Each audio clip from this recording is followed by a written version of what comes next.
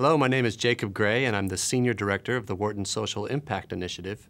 And I'm happy, actually delighted, to be here with Dr. Judith Rodin, who is the president of the Rockefeller Foundation and a past president of the University of Pennsylvania. And we're here to talk about her book, The Power of Impact Investing, which was co authored with Margot Brandenburg. So, welcome, Dr. Thank Rodin. you. I know a lot of people have heard the term impact investing.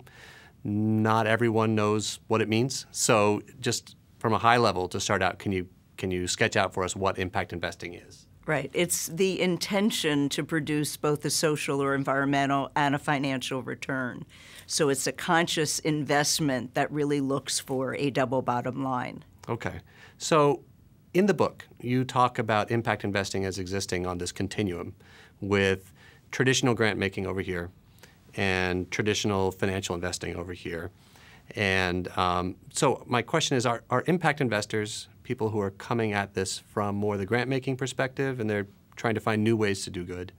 Or are they coming from the traditional finance perspective trying to make their capital work harder?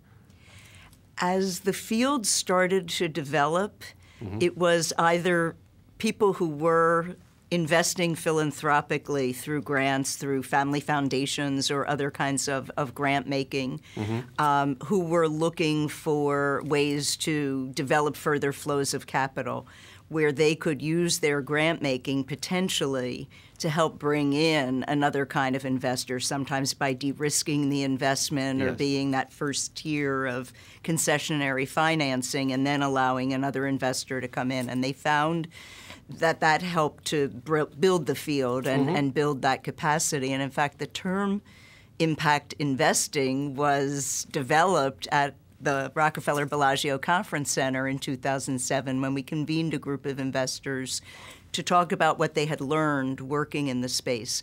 Interestingly, Jacob, we've been working more recently around the world.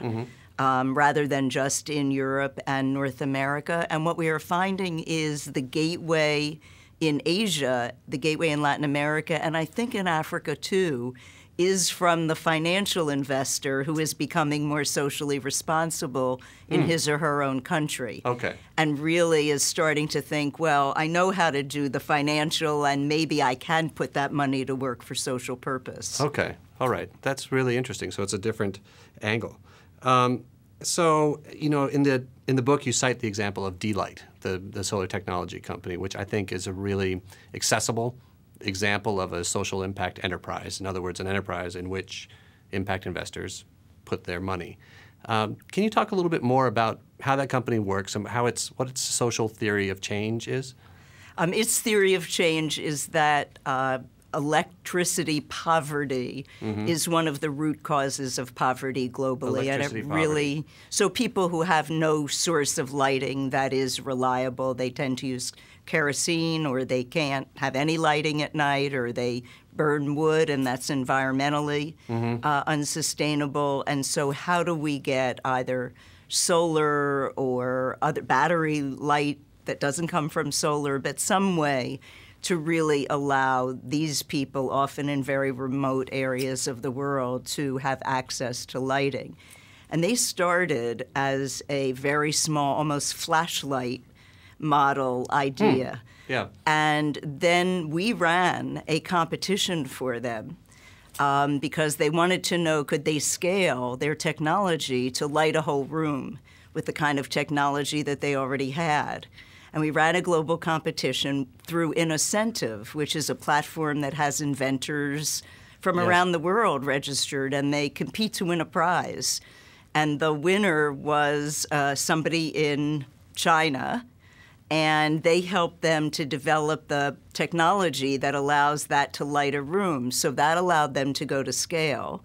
And then impact investors started coming in, and, and now they are a phenomenal example. So that's one example that is where there's direct investment into a social enterprise.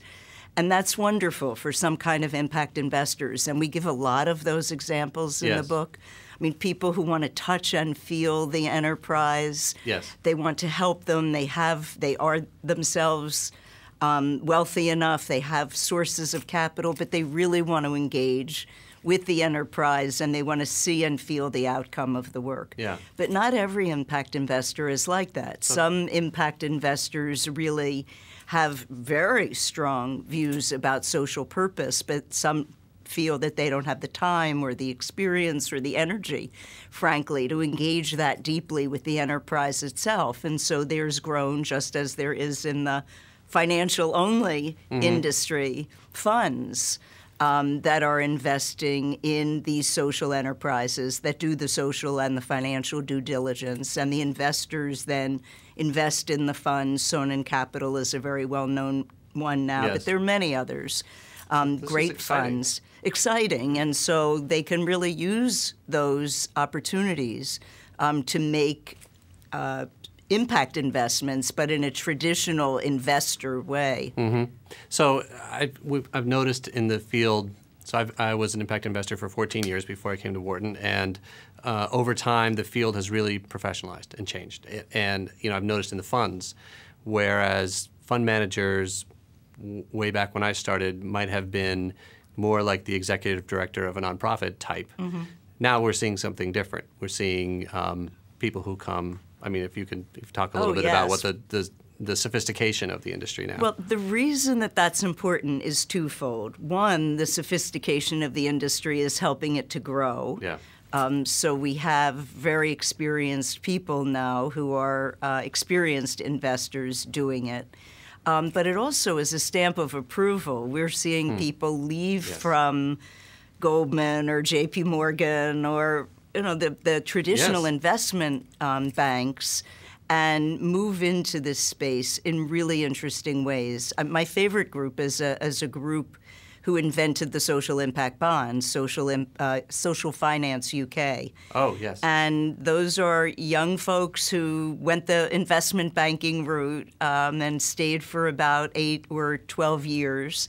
And then, with the um, leadership of Sir Ronald Cohen in the UK, started social finance and invented this amazing impact investment instrument different from a fund and different from investing in a social enterprise. Which has now been copied called social impact bonds all over the world. I mean, it's been and we we Rockefeller funded bringing it to other places in the world, and we we're scaling it in the U.S. That's very exciting. Yeah. I, I often I was thinking about what you're saying about the this uh, stamp of approval from new people in the field, and often I tell students that I would never make it in, into this field at this point, as I did back then, because I don't have their credentials.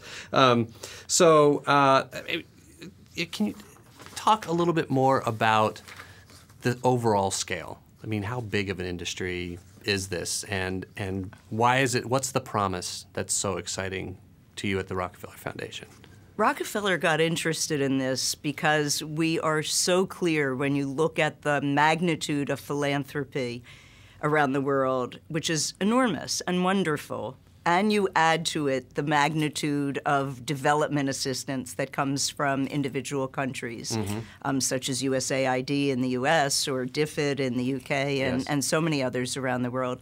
When you add those together, it doesn't get to the trillions of dollars that we're going to need to solve the social mm-hmm. and environmental problems. And I mean this really broadly because yes. I call crumbling infrastructure in the United States a social problem.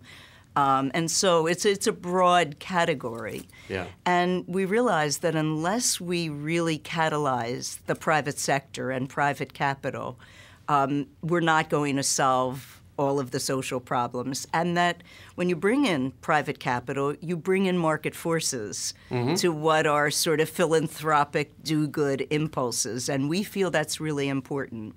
It is wonderful to feel good, it is very important to do good, but it is most important to have impact. And so it, it's been a combination in a very interesting way of unleashing private capital but unleashing market force thinking mm-hmm. into this field. And it will never replace philanthropy and grant making, nor should it. Philanthropic capital is America's risk capital, yes. after all. It's our tax advantage dollars. So we ought to be doing the most risky pilots. We ought to be taking that most uh, risky tier if we're doing concessionary financing and we've put in, like we put in a with another group of foundations, a $50 million first tier about 15 years ago for the Bloomberg administration to build affordable housing Yes. because the commercial banks wouldn't lend for the acquisition and pre-construction costs. So we guaranteed the banks the first 50 million of risk and then they put in 350 million and the affordable housing started to be built. So there's so many ways that grants and concessionary financing will always be useful. But you see in these impact investors people who are very sophisticated financially. And what we did and what we talk about in the book is that we saw the market failure and why the field wasn't accelerating Yes. quickly enough was that a lot of them said, Well, I know how to do the financial due diligence, but I don't know how to do the social due diligence. So, what does social impact look like? How will I mm-hmm. measure it? How will I know that I've succeeded? So, we at Rockefeller invested in most of the metrics that are currently being used by the field the impact rating system and the global impact Right. rating system that rates both the performance of the funds and rates the social impact, potential social impact of the social enterprise. Yeah. So I want to I want to get to a question about the critics of this industry. Um, one of them, I mean, maybe the more pithy ones, was Marc Andreessen of the venture capital firm Andreessen Horowitz, said, uh, you know, they compared impact investing to a houseboat. It's neither. He said it's neither a great house nor a great boat. So, uh, pithiness aside, um, is there some sort of inherent tension between the desire to to push toward purpose and and the push toward profit? Is there any fiduciary duty risk or or pressure that um, that's in tension here? Yes. So there absolutely is a tension. Mm-hmm. And that's why, just as I said, we never want to stop grant making. Mm-hmm. We never want to stop innovative venture capitalists like Marc and Ben mm-hmm. from being a financial only investor. Yes. But this is for that category that says, and Marc is a great philanthropist and a friend of mine. And so he is investing, making a lot of money, and then with his wife Laura giving philanthropically. And that's a wonderful thing to do. Yes. And that's the traditional model. So Marc doesn't like when I use the word traditional, but it is. Because he's a venture capitalist, Right. right? That's the old school model. But there's lots of people now who Yeah. really want to be in between, are willing to take a somewhat lower rate on financial return. Look, fixed income is a lower rate. Right. And so it's for it's it's never going to be triple digit, um, but there are double digit. Um, impact investing funds, for example, Generation Capital, which is a pool of public equities that do alternative energy, um, is turning double digit returns. The Rockefeller Endowment has a traditional investment in them. And so there are some, but most are not. Yes. And there's a wide and widening pool of investors who are willing to take fixed income rates in order to have high social return. And the impact investment, as you know well, also runs along a continuum. So mm-hmm. there's financial first with social second, and vice versa. So you can sort of mix the pie in whatever way meets your both social purpose and um, investment goals. And I think people love that. I, so I do too, and I particularly perhaps among the younger generations. I mean, I, I wonder if you also see this, but I but we see, at least among Wharton students, we see this uh, that impact investing has gone from uh, a sort of oddity to a really highly respected side pursuit, and now to what people see as really a nascent, or maybe it's just proto nascent industry. And you know, the students are actually paying attention, like they could actually get a job in this field. Absolutely. And so we see surveys after survey. JP Morgan and the GIN, the uh, Global Impact Investors Network, that we help to start surveys every year, and they have um, a group of impact investors. And so between thir- 2013 and 2014, the amount that was being invested by this group that's being surveyed went up 19 percent. Um, from about 10.6 billion to 12.7 billion or something in that range. So it went up 19 percent. 91 percent of them said that they had met their financial objectives, and 99 percent said that their investment had met their social objectives. So we're seeing, I think, through the development of networks, I think through the development of metrics Mm-hmm. and sharing data and more performance data now coming out from older funds, Yes. such as those that Yeah. you worked on and others early in the game, are really bringing more people into the field. And young people are so excited about this. And, you know, they see the world in need of change and they want to touch and feel it. And if they can use capital to make that happen um, in a really constructive way, I think it's very I attractive. think, I, I think so too. So, just as a closing question, what's next in this field? I mean, what's going to be the next big jump or the next lever? Is it a, is it a public policy that needs to be built around it, or, or, or what? Yes, the next big jump will certainly come through public policy because right now, ERISA requirements, for example, in the United States and some comparable types of legislation el- elsewhere, prevent um, many of the pension funds from taking large positions in impact investing funds because it doesn't meet the hurdle of the financial return that they need to, to address.